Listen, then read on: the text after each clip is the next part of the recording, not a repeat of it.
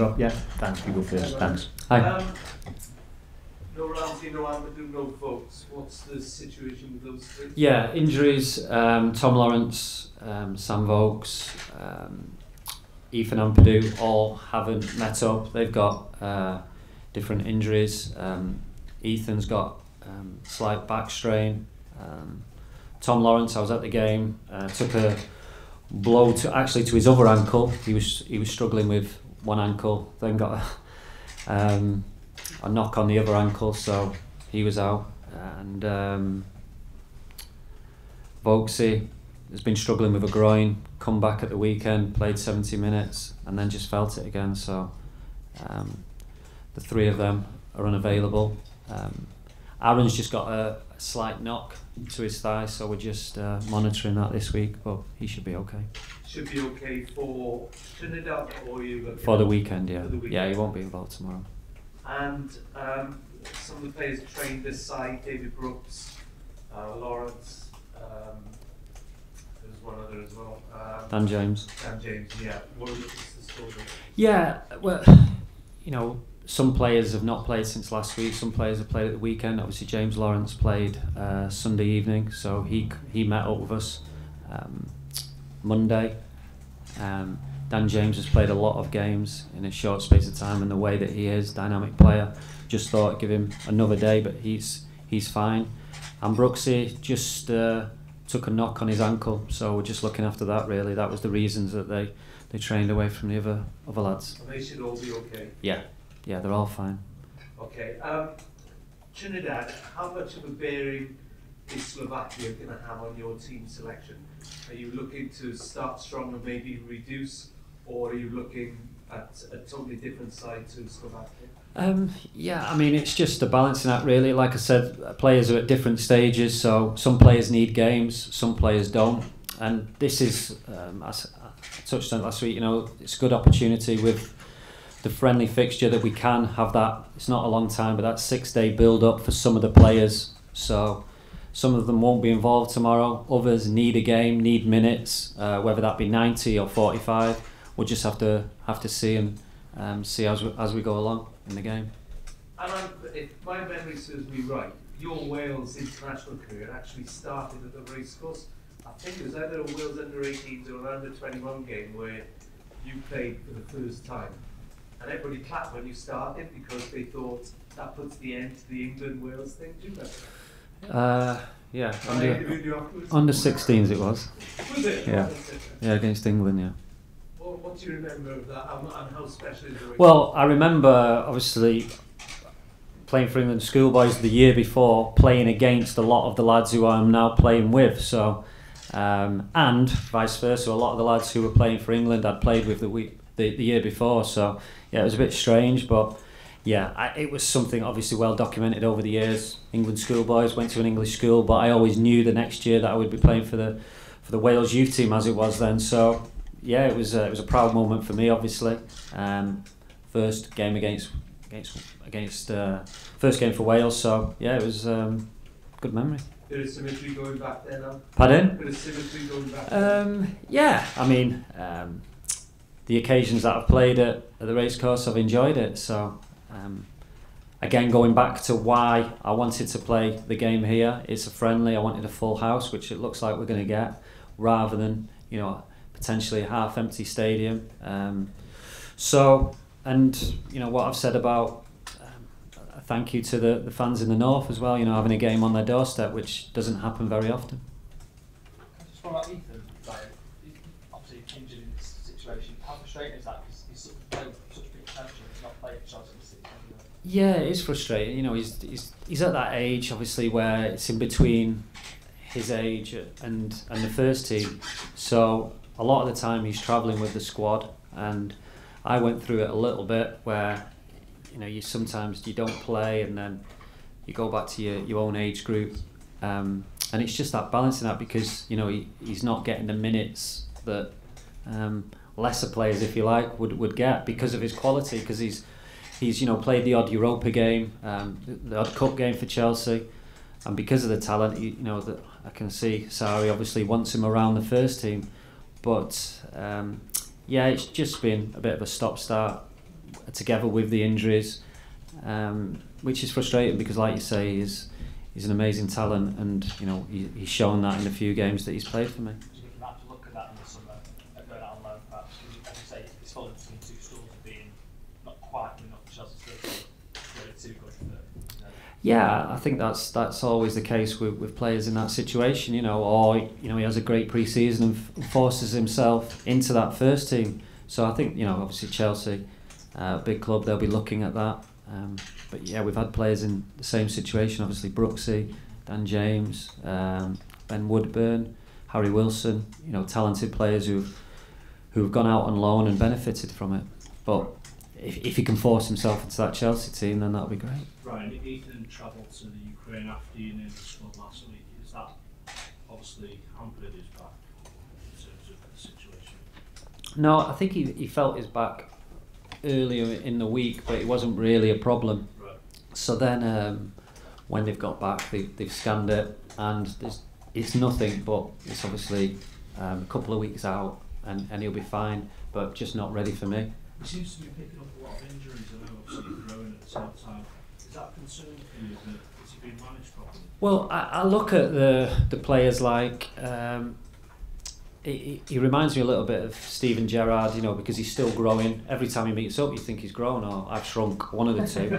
but he's he's growing out, he's growing up, and he's just pardon, bit of both, I think.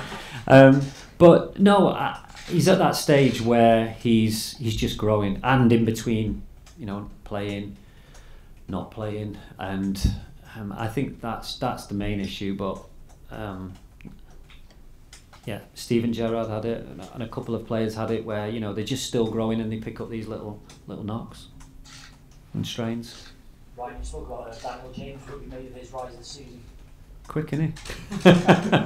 no, uh, he's he's um, he's a talented player, obviously, um, with speed that you, you only see every now and again. So, and he's a great lad, great professional. Um, that's why looking after him really because he's had three games where you know his um, his stats are, are up there, his sprints, repeated sprints, and of course the emotional game, big game with with City as well, and also change of position. You know he's played a couple of times up front, which he's done really well. Um, but um, no, he's been he's been fantastic. He's been fantastic uh, these last few weeks, especially. What do you make of his mentality as well? Obviously, he was so close to joining Leeds on deadline day, but Yeah. that fell through and he's had to crack on at Swansea and he's, he's got on with it and. Yeah, uh, yeah. I mean, I don't obviously know the details of that, but yeah, I think they played him that week. Or was it the week after or something like that? So yeah, just like you say, it shows his professionalism um, and his mentality to come through that and um, you know kick on again from from what already was a good season. He touched on the Swansea City game there. He's starting to get worried that City might win the pod. Are you worried that City might win the pod now? I've got enough to worry about. Please don't bring that up. Um, no, I mean they're a fantastic team, aren't they? So they've obviously already got one. Um, with United going out of the FA Cup makes it a little bit easier um, for them. Um, but uh, they've got a long way to go. But uh, just like us in the treble, you need a lot of things to go go for you. Um, that bit of luck, um, which they had at the weekend. Uh, but um, no, they're, they're, they're a brilliant team. But um, yeah, it'll be interesting to see if, if what they can achieve. What's the welcome been like for you back here in the last couple of days? Yeah, it's been good. I mean, um, obviously seeing a lot of old faces. I was here for so long, and you know it was part of the reason why um, I wanted to come here because you know I, I know the people here and I could trust them and knew that the facilities would be would be great and the players would enjoy it, especially them younger players. You know, coming seeing the tremendous facilities facilities here. And, you know what I touched on before about um, you know having the best facilities possible and the best preparation for the for the game. Ryan we mentioned the injuries, but great to see Gareth Bale out there and uh, scoring for Real on, on, on the weekend. Yeah, um, it's always great because you know usually when Gareth scores, he, he he goes on a run. So yeah, it's good to get his first ninety minutes. I think it was for three months. So yeah, I've said before what a talent he is, and you know if he plays games, he'll score goals, and um, you know any manager would want him in his in your team. Is he, someone that you might look at, you know, obviously tomorrow night, Wrexham, great having a match there, but obviously the stadium Yeah, I, I mean that's why I picked a big squad, knowing that a couple of the players were on the fringe and they didn't quite make it. But also, you know, we have got this advantage potentially of having a for a lot of the players who needed that six day build up rather than you know be involved in the game and then recover. Um, so yeah, I want the best preparation for each individual, and it is a bit of a juggling act because they're coming to you at different um, stages. Some have played loads of games. You know, you got Connor who's played a load of games this year. Harry, um, Dan James, I just touched on in a short space of time. So giving players um, that lead up to a game, and also the reverse players who need games and need minutes. Like you said last week, that you had all but one or two places sorted in your mind for Slovakia. Is there a chance for a player to play himself into the team for Sunday if they? Yeah. Yeah, no, definitely, um, definitely, and that's you know I've challenged the players to do that. You know that um, obviously we want to win tomorrow, but the main thing is to make sure that we get off to a good start for the qualifiers. So if you're not involved, yeah, best preparation, but also I've not picked the team yet. Um, I've got an idea, but there are still places up for grabs. Right, was it, was it a big thing for you that Gareth played at the weekend? Because obviously you might made the Swan next summer. Him not playing every week at Ramsey might be an issue for you going forward. So, as it unpicked him, was that a big thing for you? Yeah, it is because um, he picked up um, a foot injury against Ajax in the last few minutes, so I was worried that you know it would be it would be about three weeks without a game. So it was good that, like I said, he got 90 minutes under his belt. It's good for him. Uh, good for his mentality that he's done that, obviously, and physically it's it's great that he's done it. But you've got you've got Gareth and you've got Aaron next year. You've answered two two big players playing at some of the biggest clubs in Europe. To be playing, don't they? At the end of the day.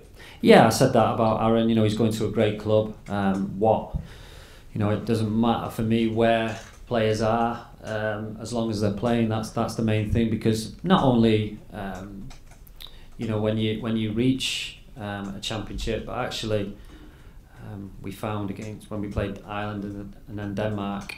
It's, it's not a lot of time, especially if you have to travel that three day turnaround, which a lot of the players are used to. A lot of the players aren't. So yeah, you want players with minutes under under the belt. Ryan, in the last qualifiers for the Euros, Gareth got a huge number of goals and assists and seemed like a real man on a mission to take Wales to the final. Do you, do you get that again uh, this campaign? Yeah, you know he's he's the main man, Gareth. But also, I want to take that pressure off him as well at the same time, and have that if he if he's not available, that we're just not relying on one player. But yeah, I mean, Aaron scored some important goals as well. Obviously, with the emergence of, of Harry Wilson, of Brooks, Dan James, you know we've got so many attacking options, um, and that's what I want. That's what I want. But you also recognise that you have a special player, one of the best players in the world, um, and playing to his strengths also. Right, when do you expect Aaron to start training? Aaron, um, yeah, probably Thursday. Thursday uh, when we get down to, to the Vale, um, getting back on the pitch. And because he's a doubt, will that change your thinking maybe on the minutes Gareth will play tomorrow? Um, yeah, um, I think, yeah, looking at, I mean, first of all, you don't know how the players are going to turn up. Um, so, yeah, we do plenty of medical screening on Sunday, so then we can really plan for who needs to do what. And yeah, usually that first day, there's there's three groups. You know, there's a group who can train, there's a group who stay off the feet completely, and then there's one who do, does like a second day recovery or a working recovery. So that will maintain during the week, obviously with the game on Wednesday as well. Right, Gareth's had quite a difficult time in Spain recently with the Spanish press and some of those sports. Does coming into a camp like this kind of re-energising, being around, like I said, such a, a close-knit squad, does it kind of give a, a mental as well? I think, from my experience, when Gareth's turned up, he's been brilliant and he loves playing for Wales. He loves coming away with his mates. Um, but also, he loves playing for Real Madrid. You know, he's seen at the weekend, new manager, scoring, being a big part of that game. Um, but yeah, of course, he loves coming away because you know you, you see him around. He's he's obviously one of the voices in the dressing room with the experience that he's got and the leadership skills that he's got also.